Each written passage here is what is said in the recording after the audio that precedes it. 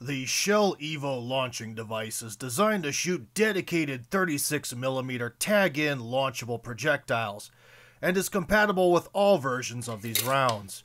It can be used with almost any airsoft or paintball 40mm grenade launcher.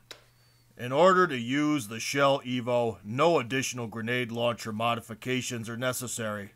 Just insert the projectile into your launching shell, fill the shell with green gas, Firmly place the shell into the grenade launcher, release the safety, take aim, and pull the trigger. At the moment of pushing the initiation valve's trigger, the propellant will be released and push the projectile down the barrel.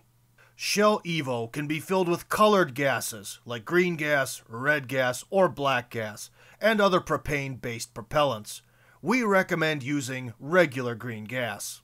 This launching device is designed for use at temperatures ranging from between plus 15 and plus 40 degrees Celsius.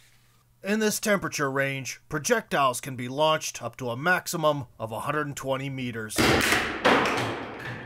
The shell has a replaceable rifled plastic barrel, an aluminum base with gas chamber, an inlet valve, a release valve, and a nozzle.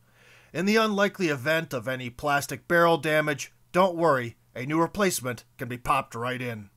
For more information about this and other TAGinn launching devices, check out our website at airsoftpyrotechnics.com.